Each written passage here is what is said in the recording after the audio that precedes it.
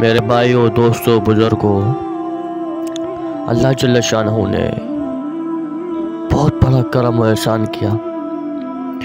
حضور صلی اللہ علیہ وآلہ وسلم کے امت میں پیدا کیا۔ ایک اور بڑا احسان اللہ جل شاہ نے ہمیں ایک کام دیا۔ کام حضور صلی اللہ علیہ وسلم کی۔ ہاں۔ ایسا نبی جو موت میں بھی نہیں چھوڑا اور نہ موت کے بعد چھوڑا۔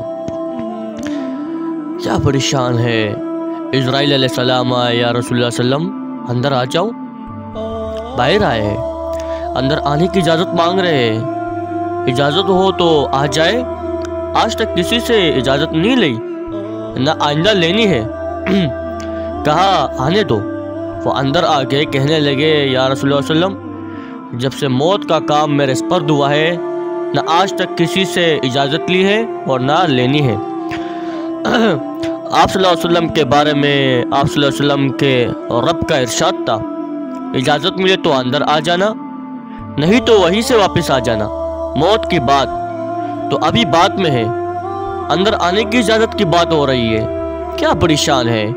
اس نبی پاک صلی اللہ علیہ وسلم کی پھر اگلی بات۔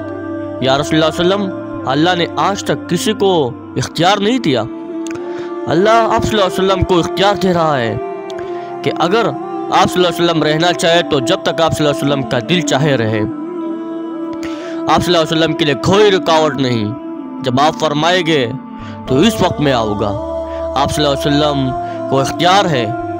آپ صلی اللہ علیہ وسلم کے بعد کسی کو نہیں۔ آپ صلی اللہ علیہ وسلم سے کسی نے کسی کو نہ تھا۔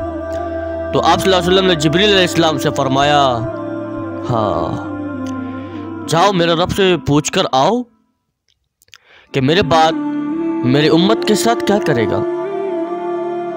میں پھر جواب دوں گا۔ جبریل علیہ السلام واپس جا رہے ہیں اور جواب لے کر واپس آ رہے ہیں۔ یا رسول اللہ علیہ وسلم، آپ صلی اللہ علیہ وسلم کا رب فرما رہے ہیں فرما رہا ہے کہ آپ صلی اللہ علیہ وسلم کے بعد آپ صلی اللہ علیہ وسلم کی امت کو تنہا نہیں چھوڑوں گا۔ آپ صلی اللہ علیہ وسلم نے فرمایا، اب میری آنکھیں ٹھنڈی ہو گئی اللہ، میں بھی آپ سے ملنے کا مشتاق ہوں۔ یہ تو مشتاق ہوں۔